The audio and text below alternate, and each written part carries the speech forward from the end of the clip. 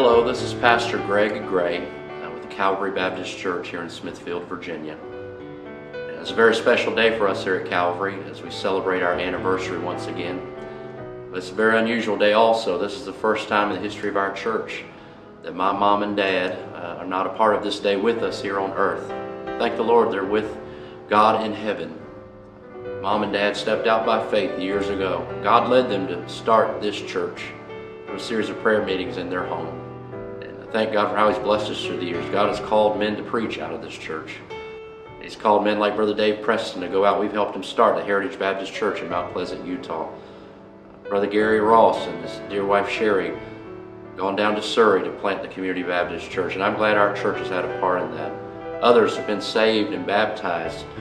Lives have been changed. Homes have been put back together. It's because of the power of the gospel. But thank God, my mom and my dad were yielded to the Lord in all of it. I believe the testimony of their life is one of consistency. It's not a life full of zenith moments and big accomplishments. As consistent servants, God did something wonderful with their life on this earth that we're all benefiting from here today. We've put together a series of pictures and items we think will be a blessing to you today as we think about what God's done in the life of Pastor and Mrs. Gray, life of my dad and my mom. I hope this will be a blessing as we watch these things. And may the Lord receive glory as we do.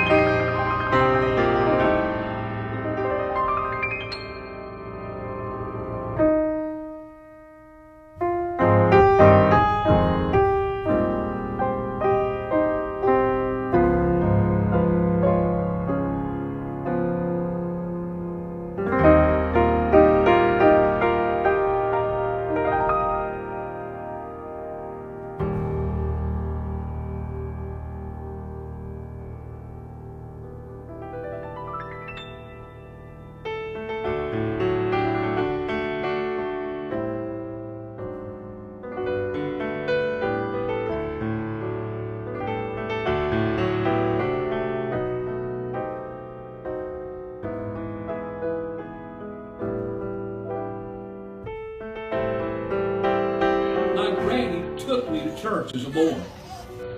My mom and dad did not go to church. And my granny had a burden to see our family saved. She took me. I was the oldest of five children in our family. And because I was the oldest, Granny made sure I went to church. And uh, every time she went, I went. And my heart was touched by the truth from the Word of God on many occasions. I was under so much conviction. And I pray tonight again, if you're lost and undone without Jesus, I pray that in this meeting tonight you get under conviction. I tried to sit way back in the back, but Granny made me come sit right by her. And in just a few moments, for some reason, I lifted my head. And when I did, my eyes locked eyes with the pastor that morning. And he looked right at me and he says, It's time for you to come to Jesus. My heart was about to explode in my chest. But all of a sudden, my feet were moving and my legs were working. My heart was pounding. I couldn't hardly breathe. But I made it somehow to that altar Yeah. Amen. and knelt down to pray. Yeah. And the pastor at that point led this old country boy to Jesus Christ. Hallelujah. And I've been saved ever since Amen. and never been sorry that I've been saved. Amen. But I've been glad that Jesus come into my heart. Amen. And if Jesus is in your heart today, say amen. Amen. And let's thank God for salvation in Jesus Christ.